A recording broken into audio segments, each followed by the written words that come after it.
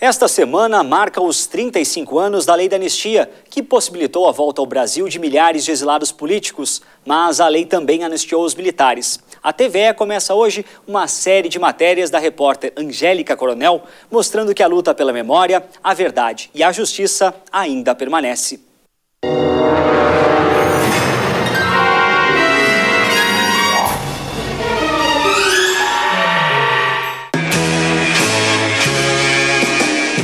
Caminhando contra o vento, sem lenço, sem documento, no sol de quase dezembro, eu vou.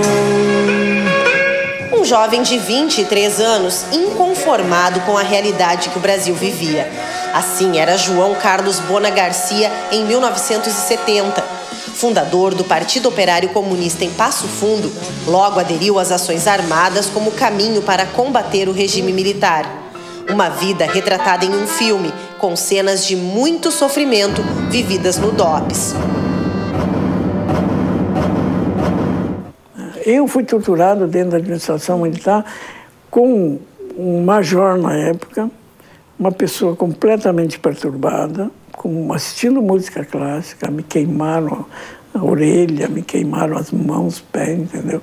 E pasme, com um médico junto para me reanimar. 1971, ele foi um dos 70 presos políticos libertados em troca do embaixador suíço sequestrado por organizações de esquerda. De repente, o mundo era a casa de Bona Garcia, mas o Brasil não. O sequestro foi longo, foi uma negociação longa, né? e aí me fizeram assinar um documento que eu aceitava ser trocado pelo embaixador, enfim, né, e tal. E aí quando eu voltei para o quartel, foi um oficial falar comigo, e aí ele disse, bom, eu estou muito sentido contigo. Eu, eu digo, por quê? Eu disse, tu é um brasileiro, um patriota, estava lutando pelo teu país, mas estou muito sentido porque você aceitou deixar o Brasil. Foram dez anos exilado. Primeiro Chile, depois França, Argélia. Foram oito mudanças. Aí o seguinte, vem os filhos, eles vão crescendo. Em primeiro lugar, eles já não falam o idioma que você fala em casa. Muitas vezes eu dizia para os meus filhos, meus filhos, né, vocês têm que falar português com o papai, porque vocês são brasileiros. Aí eles me olhavam e diziam, brasiliano, papai, não, não sou francês, entendeu? Tu vê ah, as coisas se afastando de você. Até quando soube que poderia voltar. Era o dia 28 de agosto de 1979, data da promulgação da Lei da Anistia. Mas a luta começou cinco anos antes e passou por esta sala da Associação Rio Grandense de Imprensa. Mulheres que tinham se conhecido num congresso feminista no ano anterior se reuniram aqui pela primeira vez. E na primeira reunião definiram a estratégia: coletar assinaturas para um manifesto em favor da anistia. Em vez de Brasil, ame-o ou deixe-o, lema do período da ditadura, agora as palavras de ordem eram: lugar de brasileiro é no Brasil. Lícia Pérez traz no peito o símbolo dessa luta. Ela foi uma das fundadoras do Comitê Feminino pela Anistia. Militante do movimento estudantil, ajudou a arrecadar 6 mil das mais de 12 mil assinaturas entregues ao general Golberido Couto e Silva. Eu tinha uma colega, socióloga N. de Bax, era viúva com sete filhos. Assinou e divulgou na escola, olha, tem um manifesto aí, era muito bom se assinasse, se apoiasse esse manifesto. Ela falou na escola e foi chamada pelo diretor. Ele disse: Eu soube que você assinou um tal do movimento pela anistia, você assinou. Ela disse: Assinei. Ou você retira a sua assinatura, ou você vai ser despedida. No dia seguinte, foi chamada pelo diretor. Você já retirou? Ela disse: Não, eu não vou retirar. Está despedida. Sindicatos e jornais de esquerda, como o Pasquim e o Coa Jornal, aderiram ao movimento.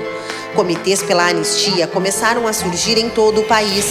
Mas apesar das promessas de abertura, a ditadura ainda vigorava. As portas da igreja matriz chegaram a ser fechadas, enquanto nas escadarias, jovens faziam uma vigília pela anistia. Esta historiadora pesquisou o período. Tinha uma promessa de afrouxamento, mas poderia uh, ser preso sem possibilidade de habeas corpus, né? E tinha uma série de, de poderes que o presidente da República ainda mantinha, mantinha. Tanto é que em 1977 o Geisel fechou o Congresso Nacional.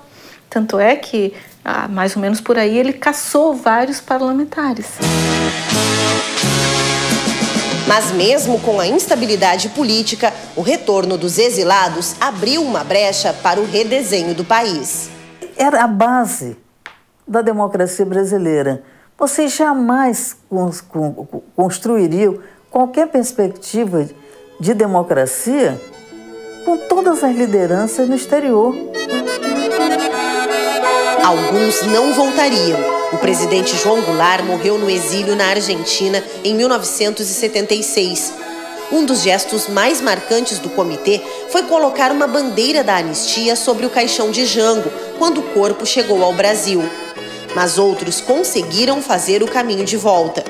Bona Garcia voltou, assim como Leonel Brizola, Miguel Arraes e outros tantos brasileiros que saíram da clandestinidade ou conseguiram voltar ao país.